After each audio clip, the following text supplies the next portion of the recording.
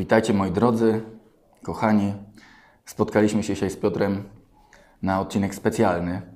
Niestety spotkaliśmy się 24 godziny za późno, ale wczoraj nie daliśmy technicznie rady, e, ponieważ stuknęło tam 10 tysięcy subskrypcji na kanale. Zaprosiłem Piotrka do, na szybką kawkę, małe frytki do jednego z McDonaldów, który znajduje się w Łodzi przy ulicy Włókniarzy.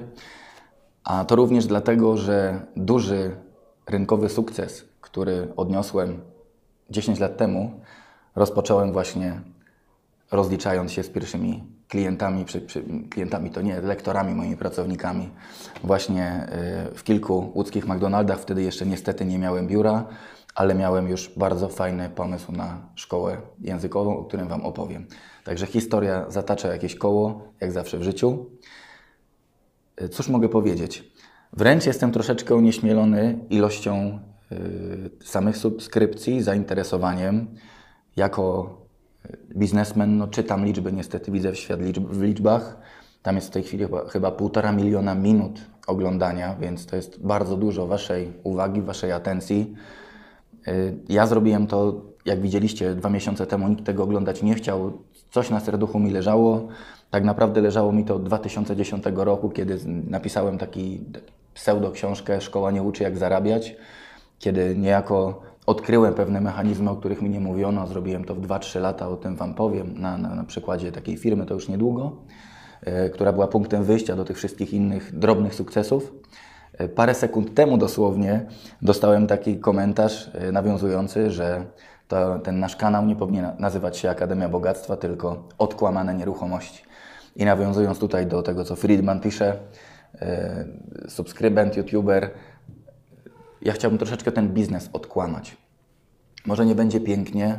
Dzisiaj jestem specjalnie na galowo, jak kornik świętolasu ubrany, ale to tylko dlatego, że, że świętujemy ten drobny sukces, głównie Piotra.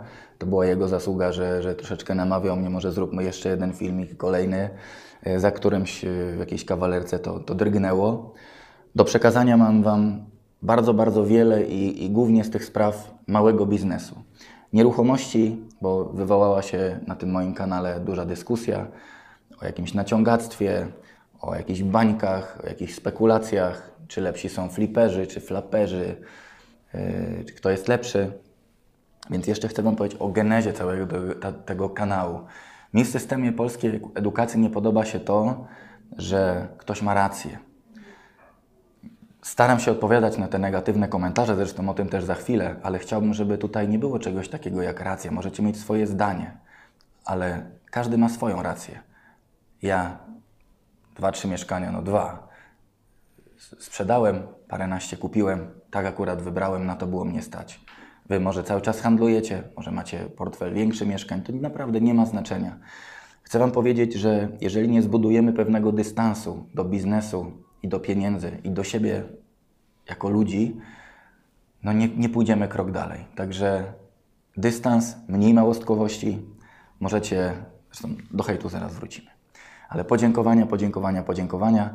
Nie ukrywam też jako zwykły śmiertelnik, że y, no, ta fala y, bardzo pozytywnych komentarzy, treści, zainteresowania bardzo pozytywnie mnie zaskoczyła. Żona jest tylko troszeczkę zazdrosna, bo do trzeciej w nocy y, po prostu z wami gdzieś tam na Facebooku, na YouTubie wymieniam swoje poglądy, więc chodzę niewyspany, dzieciaki wstają rano, ale jakoś dajemy radę. Ja jestem mile zaskoczony, jeszcze raz dziękuję. E, I sobie teraz zrobiłem taki mały skrypcik na, na dzisiejsze spotkanie. E, Wasze mm, pytania, ale to myślę, że połączymy tutaj y, z tym drobnym hejcikiem. Ale jedno pytanie było bardzo mądre. Pytanie i taki drobny zarzut. Ktoś napisał, że mentor, a to słowo w moim życiu znaczy bardzo, bardzo wiele, to nie jest człowiek, który będzie Was kasował po 500, 1000 czy 10 tysięcy złotych. Więc zanim jeszcze ta dyskusja się na dobre rozpocznie, zanim na te kursy w dużej ilości zaczniecie przyjeżdżać, to ustalmy, że nie śmiałbym być mentorem. Mentorem nie można się nazywać, nie można się określać. Niestety zobaczyłem konkurencję, czy, czy, czy, czy różne osoby, które też te podobne filmiki robią, czy o nieruchomościach, czy o biznesie. W pierwszej kolejności, jeżeli chcecie wywołać jakiś, jakąś nagonkę, że ja będę mówił, że ten to tak, ten to tak, a jaki jest ten, jaki tamten, który jest farbowanym lisem, który jest bardziej farbowanym. Yy, biznes, życie, szkoła, sport nauczyły mnie dużej pokory i dużego szacunku do konkurencji. Konkurencja, konkurencja być musi. Jeżeli mamy, mam Was delikatnie wdrożyć w tajniki małego biznesu, to przygotujcie się na to, że jeżeli zrobicie piekarnię, to wiedzcie już, że dawno sieć piekarni czy, czy kilkanaście osób nawet w małym mieście piekarnię prowadzi i że w każdej chwili nawet Wasz najlepszy pracownik może zrobić piekarnię. Konkurencja na rynku po prostu być musi. Także niestety z mojej strony żadne obelgi, zarzuty nie padną. Mogę troszeczkę poszydzić z niektórych, tak samo jak Wy ze mnie, ale, ale nie. I wracając do tego mentora, ja Wam powiem z mojego doświadczenia, że moimi mentorami, kiedy miałem lat 18-20, byli dziadkowie, byli rodzice, byli wychowawcy na obozach, właściciele y, jakichś firm drobnych, y, turystycznych. Był człowiek, który prowadził mnie, taki Grzesiu, y, kondycyjnie, fizycznie na siłowni. Było pięciu trenerów, o których będę mówił w karate tradycyjnym. Natomiast nikt z nich, a miałem wtedy lat od siedmiu do, do, do dwudziestu kilku, kiedy, kiedy zawodowo to, czy zawodniczo e, to uprawiałem, mimo że była to wierchuszka polskiego karata, związek liczył wtedy, nie wiem, 30 tysięcy yy, całych ćwiczących, to nikt w życiu nie powiedział do mnie, że ja jestem Twoim mentorem, Twoim mistrzem, a Ty będziesz mnie słuchał, więc mentor to jest bardzo, bardzo wielkie słowo. Jeżeli ktoś tego typu retorykę stosuje, nie wiem, czy, czy zasługuje na to, żeby być e, mentorem. To, to Wy musicie ocenić. Także tyle gwoli wyjaśnienia. I teraz tak, e, sprawy organizacyjne. Na, ja niespecjalnie lubię Facebooka jako narzędzie do pokazywania jedzenia. O, teraz tu jesteśmy na frytkach, powinniśmy zrobić, że jest fajnie. Myślę, że to są amatorzy. Ja wolę, nie wolę odrobinę tej prywatności, nawet jedzeniowej, zostawić dla siebie, co tam zjadłem, co nie zjadłem. Natomiast wydaje mi się, że świetnie się sprawdza teraz ten Facebook, mam go od nie wiem, pół roku, jako narzędzie komunikacyjne. Piszecie do mnie, dochodzicie do, do znajomych, więc zapraszam wszystkich Was do znajomych. Zróbmy sobie y, taką bańkę spekulacyjną. Możecie kliknąć Kuba Midel czy Jakub Midel, jak to tam wygląda. Y, też tutaj powiem, że jeżeli tych informacji jest za dużo albo dostaję i to, to tylko mogę Was przeprosić, ale jeżeli dostaję tych y, wiadomości czy maili za dużo, niestety nie jestem w stanie Wam na nie odpowiedzieć. To proszę uszanujcie. W przeciągu 6 dni dostaliśmy, nie wiem, 14 tysięcy maili. To jest, nie jest to fizycznie w stanie do zrobienia. Nie zatrudnię też od razu na etat człowieka, który będzie czytał maile. Y, na wszystkie porady po prostu nie odpowiem. Maile, Facebook. Zaproszenie na szkolenie. Y, ruszyła w końcu ta strona akademiabogactwa.pl. Michał taki y, sensowny grafik dokończył nam stronę. Tam być może jakieś literówki będą, nie chcę się tego czepiać. Y, I na dole tej całej strony jest harmonogram szkoleń. Piątki, soboty, czwartki. Jeżeli te grupy się uzbierają, małe, tam 10 osób, większe, w grupach otwartych, tańsze, droższe rzeczy, Serdecznie Was zapraszam. Przez formularz zgłosiło się w tej chwili tam z 20-30 osób już zapisanych, jest sporo pytań, ale konkretnie napiszcie ta i ta data, czego dotyczą te y, szkolenia. Ja będę dla Was tak naprawdę na cały dzień. Od godziny 10 y, gdzieś do 18, 19 przy tych szkoleniach jednodniowych. Przy nieruchomościach będziemy mówić sobie o całym procesie y, wyszukania, zakupu, remontu, logiki. Niestety na moich szkoleniach raczej nie będziemy się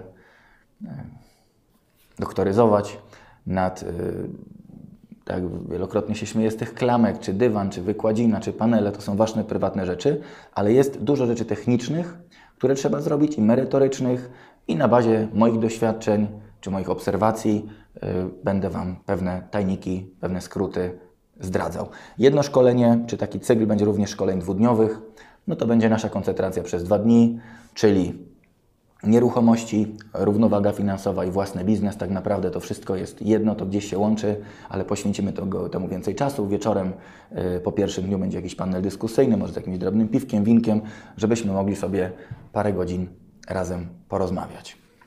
Także na szkolenia serdecznie zapraszam. Tutaj też dla, dla hejterów, czy, czy, czy to dobrze, czy, czy to kosztuje, czy niedobrze. Yy, No to nie jest niestety biznes, bo ja będę musiał robić to osobiście, czyli jest to dla mnie praca.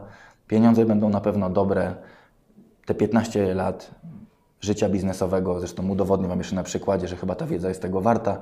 Wczoraj przyjechało do mnie dwie osoby, nie mogę Wam zdradzić nazwisk, ale, ale byli dyrektorzy salonu samochodowego, będą teraz tworzyć jakąś franczyzę. Także no, tego typu pieniądze powiedzieli są akceptowalne. Zresztą wydali u mnie wczoraj bardzo dużo za, za takie doradztwo franczyzowe. Wy możecie spokojnie za 5 stówek czy za 1000 po prostu spotkać się ze mną, zadać pytania i dowiedzieć się wszystkiego jeszcze bardziej od kuchni, czyli obejrzeć akty notarialne, spotkać się z notariuszem, z prawnikiem, z pośrednikiem, posłuchać ludzi y, z tego rynku. E, Także tyle było marudzenia. Teraz ciekawa sprawa hejt. Tego hejtu za dużo nie ma. Y, Mało tego, ten hejt jest niespecjalnie merytoryczny.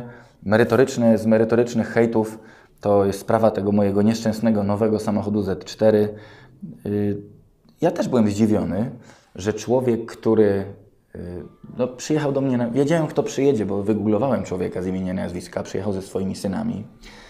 E, Człowiek y, z północnej Polski buduje bardzo wiele osiedli, robi też rowery. Natomiast nie powiem Wam kto, ale bardzo bogaty człowiek. No i wysiadł na podwórku, uścisnął dłoń, przejechali się synowie, kupili auto. Więc chciałbym zdementować te rzeczy. No, nie, mam, nie, ma, nie specjalnie chce mi się Was kłamać. Gdybym przez 15 lat kłamał, pewnie nie mówiłbym dzisiaj do kamery, e, tylko nie wiem, gdzieś w tym mętliku kłamstw, gdzieś tam sobie e, w urojonej wielkości żył. Także takich pytań głupich nie zadawajcie. Bę- Będą błędy na zasadzie, czy ja miałem lat 23 czy 25, bo z perspektywy czasu i pracowania równolegle w jednej hurtowni tkanin, pot- potem dla Turków w drugiej hurtowni tkanin, w międzyczasie robienia firmy, w międzyczasie robienia y, tej firmy, przepraszam, pierwszej edukacyjnej, odzieżowej, kilku firm usługowych, y, w międzyczasie ślub, w międzyczasie sporo podróżowania. Te fakty mogą mi się mylić, więc nie jest to aż chyba na tyle atrakcyjne, żebym wam jak gdyby zwierzał się z tego, w którym miesiącu co podpisałem, ale rząd wielkości na pewno będzie się zgadzał. Tu też apel do młodych ludzi. Znowu, nie bądźcie małostkowi. W biznesie liczy się rząd wielkości. Jeżeli będziecie kogoś y, z kimś rozmawiać w zasadzie, czy to kosztuje 135,50, już jesteście niepoważni. To kosztuje raczej 130 czy 150, takie jest pytanie. Więc czy, czy, czy ktoś przyjechał do tego typu? Tak, przyjechał. Jeżeli ktoś chce, e, bo ja uwielbiam fakty, uwielbiam walczyć, e, idę o zakład za 10 tysięcy złotych notarialny, że ten typ przyjechał, ten typ to ma i ten typ jeszcze udzieli mi wywiad. Natomiast nie chcę facetowi truć tyłka. E, Drugi, drugi jakiś zarzut. Weź se odłóż 100 tysięcy, kanał z dupy dla facetów w rurkach pracujących u mamusi i tatusia. Po części tak, dlatego że najtwardsi moi zawodnicy będą oszczędzali i zarabiali więcej, a y, te 100 tysięcy złotych to nie, to nie jest tak, że ja odkładam 10 tysięcy miesięcznie zarabiając półtora. Jak Wam wspomnę w mojej historii, zacząłem pracować w wieku lat 17. Więc jeżeli auto kupuję w wieku 23, to gdzieś ta fala pieniędzy się odkłada. Mówię tylko, że w okresie tej pracy, jako handlowiec, niestety nie jadałem w restauracjach, niestety nie wyjeżdżałem na drogie wakacje, niestety nie kupowałem drogich ubrań. Może dlatego z jakichś kompleksów zrobiłem tą markę odzieżową. Ale y, te 100 tysięcy jest naprawdę do uzbierania. Moich kursantów będę tego uczył. Pani Alinka się odzywa. Pani Alino, pozdrawiam. Nie wiem, czemu Pani tak mnie nie lubi, ale wyginam śmiało ciało, łysy daje jazzu, po glacach i szczerzy potem zęby, że udało mu się zakręcić ciućmoków. No niech się Pani już chociaż ze mnie śmieje, ale z osób oglądających, dla których jest to wartościowe, czy ich nazywać ciućmokami, myślę, że nie. Bardziej ciućmokami bym, ciućmokami bym nazywał takie osoby jak Pani. Czy ja wyginam śmiało ciało? No jeszcze nie wyginam, ale być może coś pokażę. To, że jestem łysy, to prawda. Utraciłem połowę włosów niestety przez biznesy, przez, stres, przez stresy. No szczerze, zęby lubię się uśmiechać. Kto się nie uśmiecha? Ja i tak się dużo nie uśmiecham, ale jeżeli będziecie chcieli pracować z ludźmi, trzeba się uśmiechać. E, czwarty komentarz. Nazwa Venerdi na, slimkach, na slipkach nie zachęca. No i ja e, s, mam męskie oczy, nie patrzyłem na męskie slipki jako jakieś tutaj e, wenerycznie nie patrzyłem na, na męskie slipki. Venerdi po włosku piątek, chociaż to zapamiętajmy i nazwę mojej marki, ale też nie trzeba. Oglądam filmik i myślę, że gdzieś widziałem to logo, patrzę do szuflady, a tam skarpetki Venerdi, tak jak Wam powiedziałem y, na filmiku, gdzie y, o, o tych ubraniach, że, że paręset sztuk swetrów, koszul, w tym również skarpet poszło. Fajnie. Y, Nie ma tutaj niku, ale jeżeli tutaj napiszesz do mnie adres, to, to wyślemy Ci, ile będziesz chciał skarpetek. Kolejny, kolejny niemiły komentarz, żebyś kurwo jebana zdechł. Będę też mówi, mówił o tym, o śmierci. Śmierć jest bardzo ważna w życiu człowieka, w życiu przedsiębiorcy. To jest pewien cykl, który niestety nastąpi. No, chciałbym to nas martwić, że byłem na badaniach i jeszcze chwila.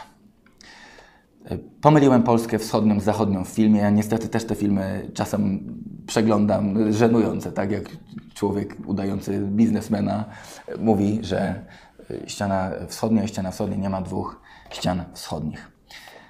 Ja mówię udaję biznesmena, bo ja nie jestem już biznesmenem. Byłem biznesmenem, twardym biznesmenem, może nawet wrócę, ale przez teraz kilka lat naprawdę zwolniłem. Tą odzieżówkę robi moja żona, firmę językową. Oddałem władzę dyrektorom regionalnym, franczyzobiorcom. Widziałem Twoją stronkę amatorska, jak na tak rozwiniętą firmę. Po pierwsze, ta firma nie jest za bardzo rozwinięta. Y, Jest rozwinięta tak, jak chcieliśmy, wręcz staramy się teraz delikatnie te przychody o 10-15% wyhamować, żeby zostawić tylko najlepszych klientów hurtowych. Stronka jest taka, jaka jest, nam stronka lepsza, potrzebna y, po prostu nie będzie, ale z uwagi na samą Akademię będę chciał i tak te strony poodświeżać, żebyście zobaczyli proces ich po- powstawania, może jakieś nowe trendy zapytamy, zresztą nie mnie, tylko właśnie ludzi, którzy te strony tworzą. No i wrzawa, że na Allegro trzy negatywy i zawieszone konto. Ja wczoraj miałem piłkę nożną, dzwonię po tej piłce, co się dzieje, dlaczego trzy negatywy. Byłem pewien, że negatyw jest jeden.